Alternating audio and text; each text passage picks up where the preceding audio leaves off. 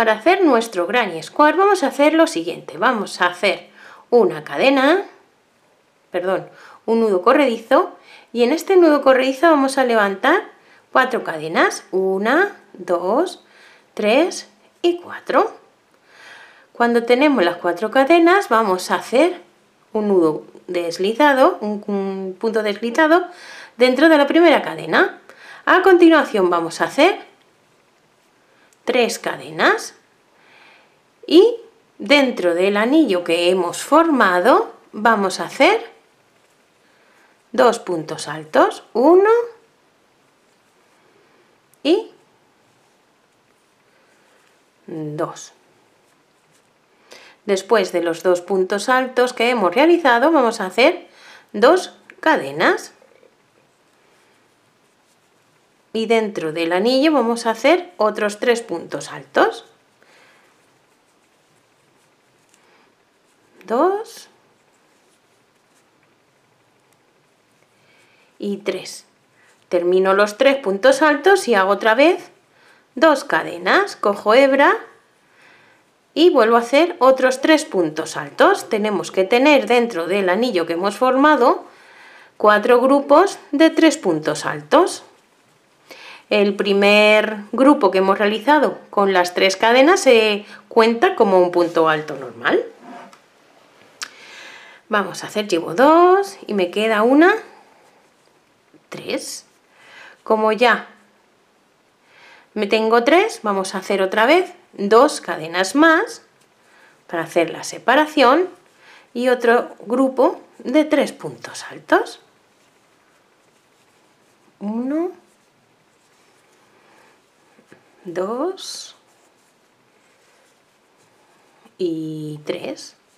Ya tengo cuatro grupos y para completar la vueltecilla vamos a hacer dos cadenas y vamos a hacer un nudo corredizo en la segunda cadena que hicimos. Y ya nos quedaría. Ahora tenemos dos opciones podemos seguir con el mismo color en este caso el mío el azul clarito y tendríamos que hacer lo siguiente. Vamos a hacer, vamos a hacer dentro del mismo agujerito otro punto deslizado y aquí vamos a subir con tres cadenas. Y vamos a coger hebra y hacer uno y dos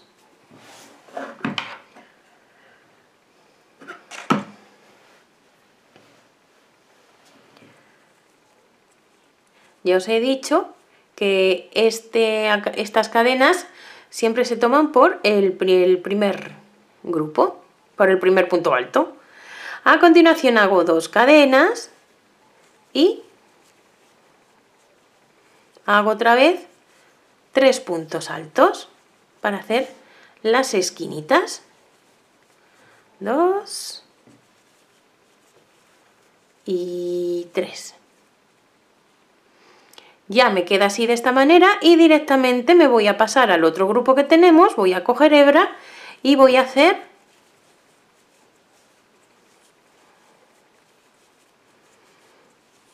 tres puntos altos, otra vez dos cadenas y tres puntos altos.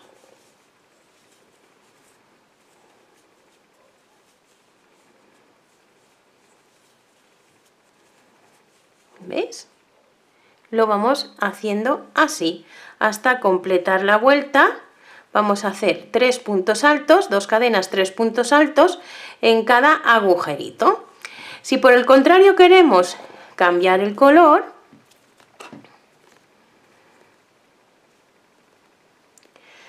vamos a hacer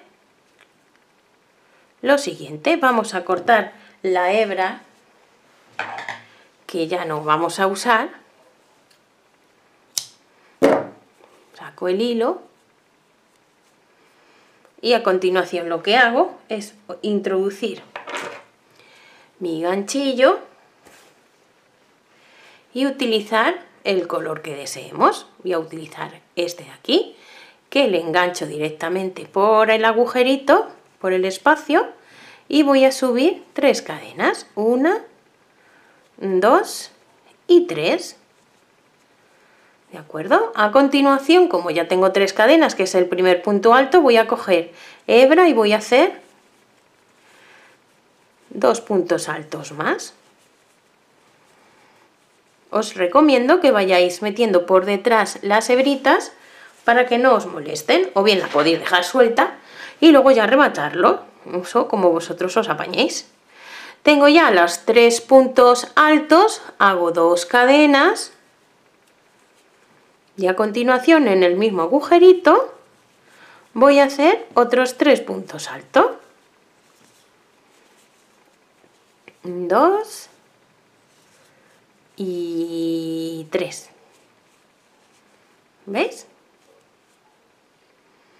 A continuación directamente me voy al otro grupo, al otro agujerito y hago tres puntos altos,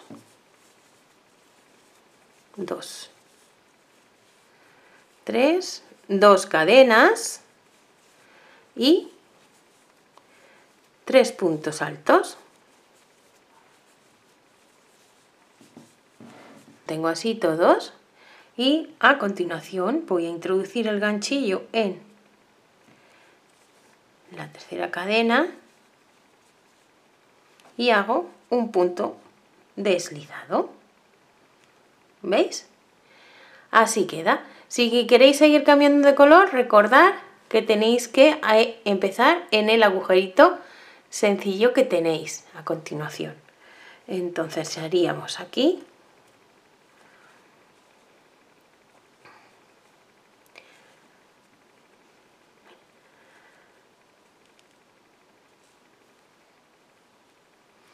Y así es como queda nuestro mm, segunda vuelta. Tengo un truco que daros. En este caso, si no queréis cambiar de color directamente, para que quede más bonito el acabado, os recomiendo hacer un punto deslizado y otro punto deslizado dentro del agujero. Y así directamente aquí comienzo las tres cadenas y haríamos el segundo, la tercera vuelta, comenzaríamos, que sería haciendo lo mismo, tres puntos altos, dos cadenas y tres puntos altos. Dos y tres. ¿Veis? A continuación en la vuelta número 3 haríamos otros tres grupos de puntos altos en el espacio que nos ha quedado de la fila anterior. Dos y tres.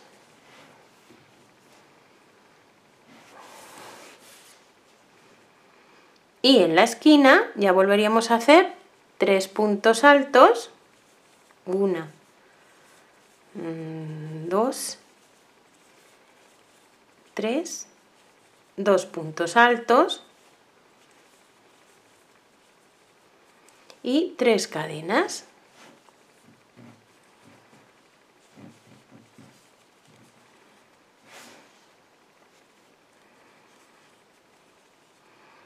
Aquí tengo otro espacio que me ha quedado de la fila anterior y hago lo mismo. Introduzco el ganchillo y hago tres puntos altos y esto va a ser exactamente igual en toda la vuelta que la terminaríamos haciendo un punto deslizado en la tercera cadena del principio. Si por el contrario queréis volver a cambiar de color, vamos a deshacer esto que hemos hecho.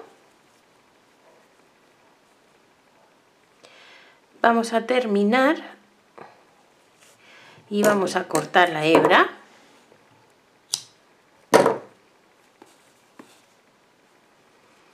Y ya podríamos introducir el color que quisiéramos en cualquiera de los agujeritos. Por ejemplo, pues aquí. Y vamos a empezar a hacer los grupos. tres puntos altos, la primera tres cadenas cuentan como el primer punto, un punto alto y otro punto alto. A continuación vamos a hacer dos cadenas y otros tres puntos altos. Aquí vamos a hacer lo mismo que en la fila anterior. Tres grupos, digo tres puntos altos dentro del agujerito de la fila anterior. Uno, dos y tres. Ahora, como vamos a llegar a la esquina, pues vamos a hacer, vamos a coger hebra y hacemos tres puntos altos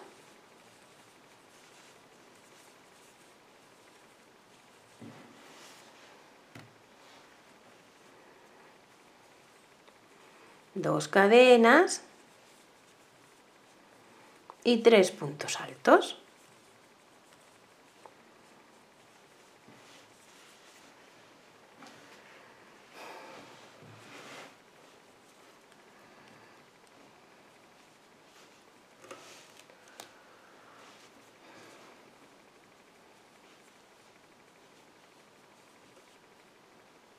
A continuación nos toca hacer tres puntos altos dentro del agujerito.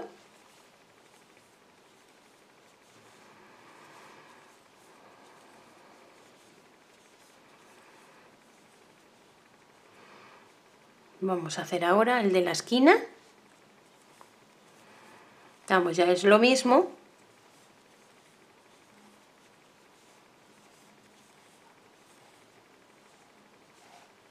Vamos a hacer ya lo mismo en toda la vuelta hasta completarla.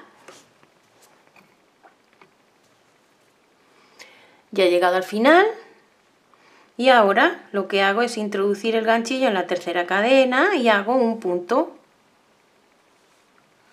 deslizado. ¿Veis? Y así tenemos nuestro granny square. Lo bueno que tiene este granny básico es que le podemos ampliar tantas veces como queráis.